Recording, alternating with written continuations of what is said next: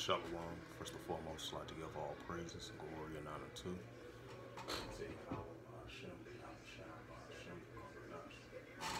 Shalom to the uh, elders aqua and I Shalom. And this is a uh, sit down of uh, Joel chapter 3, verse 1, all the way down to verse 10. Especially what we seeing in the, uh, over there in uh, Western Asia as tensions is up at all-time high, as we've seen that recent strike between uh, the United States and the UK, which they teamed up together right along with the uh, coalition as well too.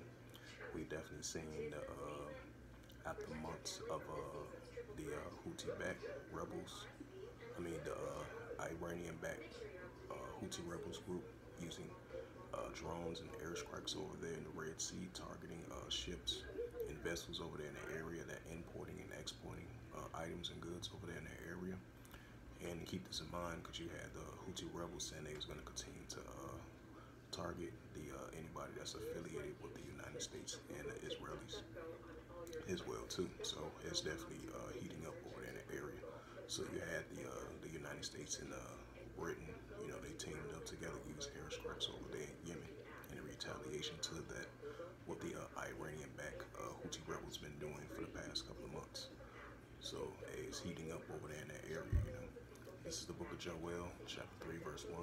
It says, uh, For behold, in those days and in that time, I will bring again the captivity of Judah and Jerusalem. Right, Judah and Jerusalem, that represents the 12 tribes of Israel, because we are the actual lineage and descendants of the children of Israel, the 12 tribes of Israel, you know. Joel 3 and verse 2 And I will gather all nations and bring them down to the valley of Jehoshaphat, which is over there in Western Asia. Uh, Yahweh Shaphat, which is the Heavenly Father's uh, judgment over the valley of decision. And that will plead with them, right? So the Heavenly Father's pleading with these nations over there in area, you know, and around the world as well too.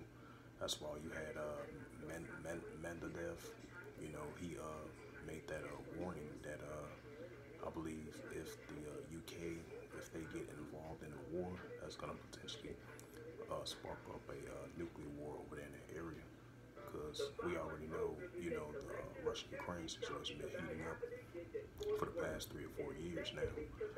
And now you've been having uh, tensions been heating up over there, you know, the NATO uh, having tensions against, you know, uh, Russia and Belarus as well too. Because keep this in mind, not too long ago you had Belarus uh, I believe Russia recently deployed troops over there not too long ago, and the uh, nuclear capability that been deployed over there as well too. So throughout that whole region and outside of the Russia-Ukraine situation, you've been having uh, escalations been heating up. Not not just only the Russia-Ukraine situation, but outside of that as well too, and it been uh, other uh, parts of that uh, area outside that boundary in that area. You've been seeing escalations been heating up. So expect to see that uh, continue to increase as well too, especially what's been taken over there on uh, Korean Peninsula, North Korea versus uh, South Korea. Those tensions been heating up not too long ago with the uh, firing, uh, the military firing shellings from the uh, uh, North Korea and heading towards the Korean Peninsula, not too far from South Korea. So tensions of the North Korea and South Korea, those tensions are up, definitely are at an all-time high right along with the amending tensions of uh, North Korea versus South Korea, Japan, and the United States. Those tensions are at an all-time high as well too, and especially what's taking been taking place lately over there in the South China Sea. I believe you have the uh, president of uh, China, because you know I believe the elections coming up over there, if I'm not mistaken, because uh, they was warning China was warning Taiwan ahead of the elections, you know. So that shows you that uh, that because uh, you got you know, the United States is unofficial, building up increasing unofficial uh, allies with, you know, Taiwan. So if any move that China does towards Taiwan, that's when the United States is going to have to intervene, you know. That's why it's been a lot of military building up, which we know in previous years. And as of recently, we've been seeing uh, increasing military presence over there, not too far from uh, South China Sea and over there in the uh, red zone areas, not too far from uh, Taiwan, you know. So those tensions are definitely going to continue to heat up over there China versus Taiwan and China and the United States over Taiwan. So we're going to see that increasing and what's been taking place over there in the uh, territorial islands not too far from the South China Sea. We've been having uh, Australia and the, uh, I believe Australia, was, because you had Australia and the Philippines. They recently did a uh, military exercise drills. Right along with the United States, they did a military exercise drills along with the Philippines as well too. As and previously, you know, you've been having the United States sending increasing warnings to uh, China, you know, especially over there, uh, the, those disputed islands, because you got so many different Asia uh, countries like uh, Malaysia, Indonesia, and other Asian countries trying to have claim over those territorial islands over there, not too far from the South China Sea. So, especially we keep an eye on that as well too, you know, because the scripture says uh, Ezekiel 3 and verse 17, I have made thee a watchman. I have made thee a watchman unto the house of Israel, which is us, because we are the watchmen. You know, we watch what's going on in the news and stuff like that, because it leads up to uh, biblical prophecies. It leads up to these uh, biblical signs that we're seeing in our world today. You know, so you know, I just want to add an additional note to that, but I'm gonna continue on with uh, Joel, the third chapter. And this is the book of Joel, chapter 3, verse 1. I'm going to read it again. It says, For behold, in those days and in that time, I will bring again the captivity of Judah and Jerusalem. Joel 3 and verse 2. And I will gather all nations and bring them down to the valley of Jehoshaphat, which is Jehoshaphat. And I will plead with them there for my people and for my heritage, Israel. Right, that's what the Heavenly Father's doing. He's pleading with these uh, nations for his people and for his heritage, Israel. We represent Israel because we are the children of Israel, Judah, and Jerusalem, the twelve tribes of Israel from the northern kingdom and the southern kingdom, the actual, the actual bloodline descendants of the Israelites, which is us, from our ancestors all the way to us in these modern day times, you know. Because keep in mind, the Israelites, they was a uh, dark skinned, complected people, you know. But that was just a side note that I want to add, you know. So those Amalekites over there, just like it says in uh, Zechariah 9 verse 6, a small hat should dwell in Ashdod. So those are not the people of the Heavenly Father, you know. That's uh, added additional note when I uh, wanted to add to that. But I'll continue on. This is Joel 3 verse 2. I will gather all nations and bring them down to the valley of Jehoshaphat, right, which is over there in Western Asia. That's why you're seeing uh, so much escalating, heating up over there in Iraq and Syria, uh, the Gaza Strip, the West Bank, Palestinian territory, Jerusalem, uh, Lebanon, throughout parts of Israel, tensions uh, over there is up at an all-time high, you know, and that's what's taking place. As we see in Joel, the third chapter is playing out as we see, you know. Joel 3 verse 2, I will gather all nations and bring them down to the valley of Jehoshaphat, which is Jehoshaphat, like I mentioned numerous times, even if I sound like a broken record player. And I will plead with them, right now, the Father's going to plead with these nations. That's what we're seeing over there in Western Asia, like I mentioned again. And I will plead with them there for my people and for my heritage, whom they have scattered among the nations and part of my land. So you got those uh, 1948ers over there, the small hats, the Amalekites, because scripture says uh, that the Father's going to have war with Amalek until still to this day. So that shows you those, those are not the people of the book over there in the land of Israel. Those are Amalekites, you know, Khazarians, you know. This is, uh, especially those uh, Ishmaelites, because, you know, uh, Arabs, they are a mixed multitude. They really are offsprings of uh, Greek race because they a mixed multitude, you know.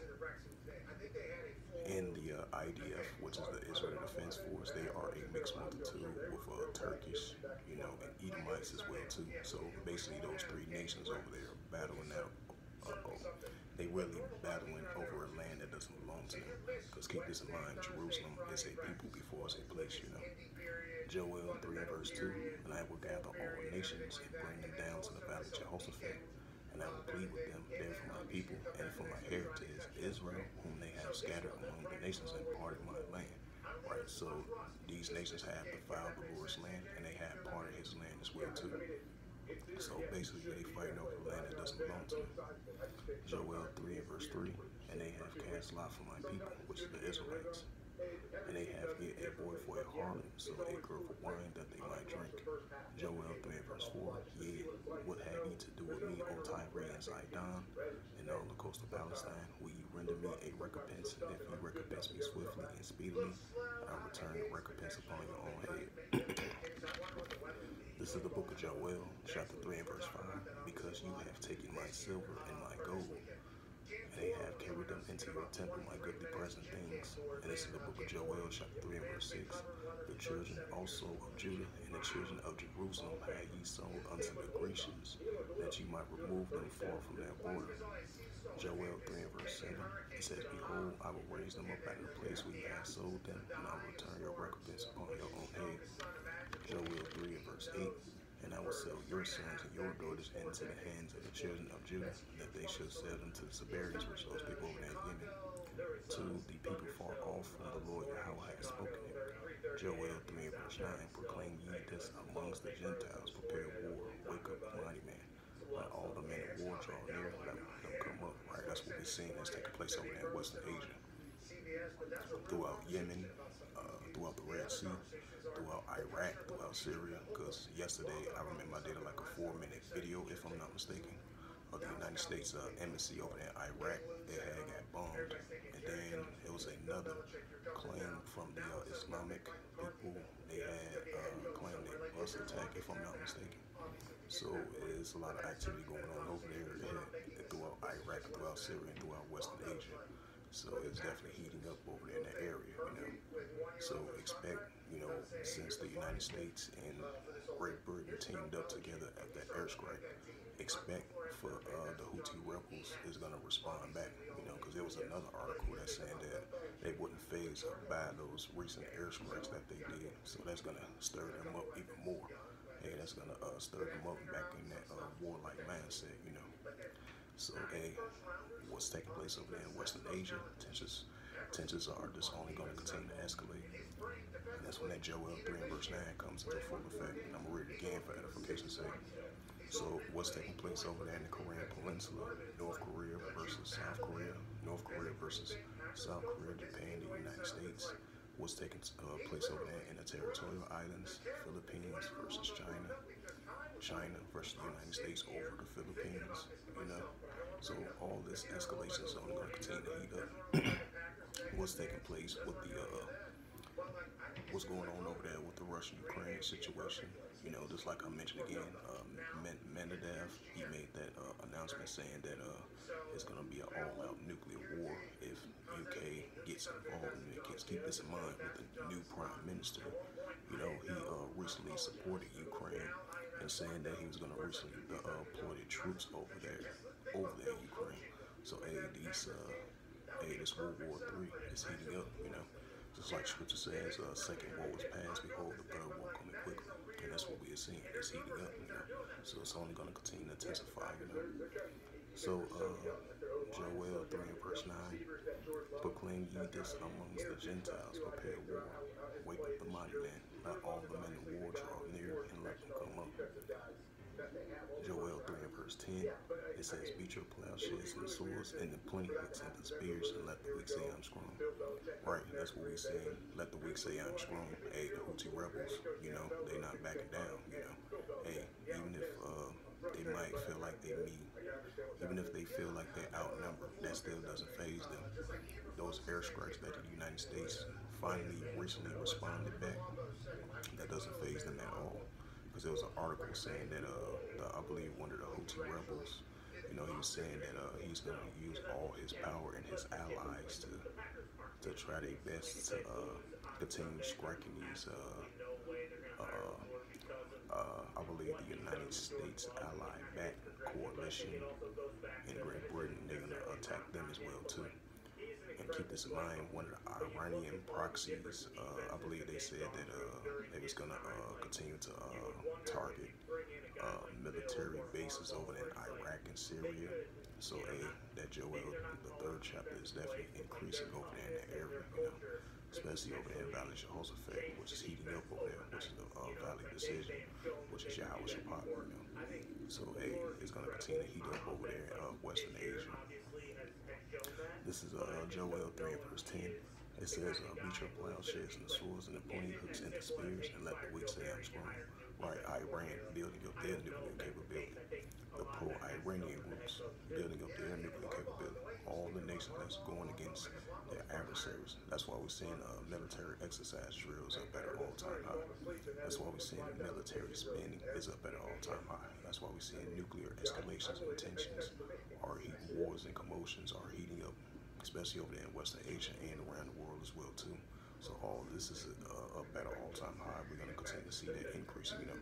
So this was just a uh, sit-down lesson that I want to bring out of uh, Joel chapter 3, verse 1 through verse 10, and what the uh, latest uh, stories that have been taking place uh, over there in uh, Western Asia as well too.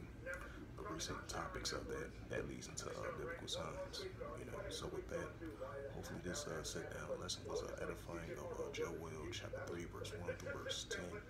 And that was the title of the uh, sit-down lesson. So hopefully this uh, lesson was uh, edifying. With that, I would like to give all praises and glory and honor to.